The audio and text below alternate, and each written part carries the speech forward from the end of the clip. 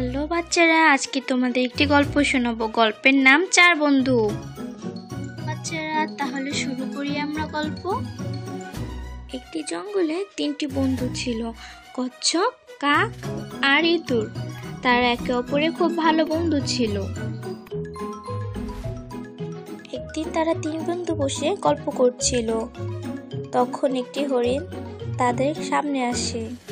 এই জঙ্গলে হরিণকে প্রথম দেখে কচ্ছপ বলে, তুমি কে? তুমি কোত্থেকে এলে? তোমাকে এর আগে জঙ্গলে তো কখনো দেখিনি?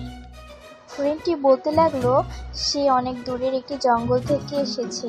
সেইখানে তার কোনো বন্ধু ছিল না, কেউ তার সাথে বন্ধুত্ব করতো না। তাই সে জঙ্গল ছেড়ে এখানে চলে এসেছে।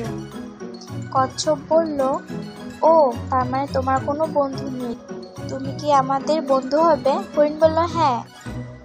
এরপর তিন বন্ধু একে অপরের দিকে তাকালো এবং তারা হাসলো এবং বলল আচ্ছা ঠিক আছে, তুমি এখন থেকে আমাদের বন্ধু, আমরা এখন চার বন্ধু। এই বলে চার বন্ধু চারদিকে ছুটে চলল খাবারের খোঁজে এবং বিকেলে তারা আবার একসাথে এক জায়গায় জড়ো হলো। অনেকদিন পরে তিন বন্ধু আবার একসাথে জড়ো হলো। কচ্ছপ বলল, হরিণ এখনও আসলো না কেন? তার তো এখন চলে আসার কথা। তখন ইঁদুর বলল, হুম, সে তো দেরি করে না। কাক বলল, হয়তো তার কোনো বিপদ হয়েছে। কচ্ছপ বলল, চলো, তাহলে আমরা সবাই মিলে এবার তাকে খুঁজি। কাক বলল, না, তোমরা দুজনে যাবে না, আমি যাব। আমি উঠতে পারি। এই বলে কাক ওড়া শুরু করল। কাক উঠতে উঠতে হরিণকে খুঁজতে লাগল। হঠাৎই সে হরিণের আওয়াজ পেল। সে ছুটে গিয়ে দেখে হরিণ বন্দি আছে একটি জালে। কাক হরিণের কাছে গিয়ে বসল। হরিণ কাককে বলল, বন্ধু, আমাকে তাড়াতাড়ি মুক্ত করো। কাক বলল, বন্ধু, তুমি কোনো চিন্তা করো না। আমরা তোমাকে তাড়াতাড়ি মুক্ত করব। এই বলে কাকটি উঠতে লাগল এবং তার দুই বোন ইঁদুর এবং কচ্ছপের কাছে গিয়ে সব খুলে বলল, কচ্ছপ বলল, এ কি বলছো বন্ধু? কাক বলল, বন্ধু, চিন্তা করো না, আমাদের এখনই হরিণকে গিয়ে মুক্ত করতে হবে। চলো তাড়াতাড়ি, আমরা সেখানে যাই।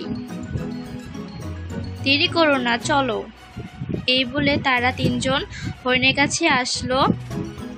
এবং ইঁদুর তার দাঁত দিয়ে জাল কেটে ফেলল। হরিণটি মুক্ত হলো এবং তার তিন বন্ধুকে ধন্যবাদ জানালো। কিন্তু তখনই শিকারি চলে এলো সেখানে। ইঁদুর শিকারিকে দেখে বলল, বন্ধুরা, শিকারি চলে এসেছে, তাড়াতাড়ি এখান থেকে পালাও। এই বলে তারা চার বন্ধু চারদিকে ছুটতে লাগল। কাক উড়ে গেল। ইঁদুর তাড়াতাড়ি একটি গর্তে ঢুকে পড়ল। হরিণ পালিয়ে গেল। কিন্তু কচ্ছপ আস্তে হাঁটায় শিকারি তাকে ধরে ফেলল এবং একটি বস্তায় পড়ে তাকে নিয়ে গেল। এখন তারা তিন বন্ধু ইঁদুর কাক এবং হরিণ একত্র হলো। হরিণ বলতে লাগল, বন্ধু তোমরা আমাকে মুক্ত করতে গিয়ে কচ্ছপকে বন্দি করে ফেললে। এখন কি করব আমরা? কাক বলো, বন্ধু, চিন্তা করো না, আমরা কচ্ছপকেও শিকারির হাত থেকে ফিরিয়ে আনব। এই বলে কাক তাদেরকে একটি গোপন বুদ্ধি বলল, কীভাবে তারা ফিরিয়ে আনবে তার বন্ধুকে?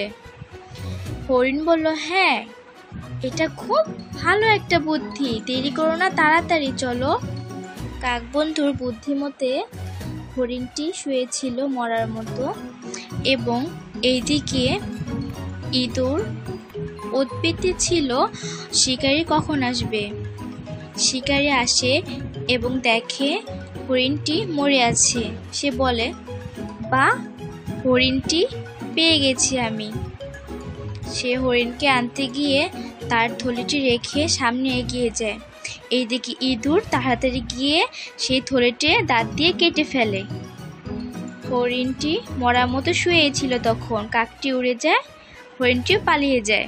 শিকারি তখন বুঝতে পারে এটা তাদের প্ল্যান ছিল এবং এইদিকে ইঁদুর তার বন্ধুকে মুক্ত করে ফেলে এবং তাড়াতাড়ি একটি ঝোপঝাড়ে লুকিয়ে পড়ে।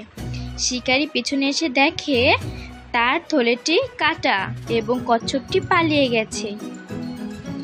সে তখন অনেক মন খারাপ করে। তারা চার বন্ধু একসাথে হয় এবং খুব খুশি হয়। তো বন্ধুরা, আমরা এই গল্পের মাধ্যমে বুঝতে পারি একতায় বল।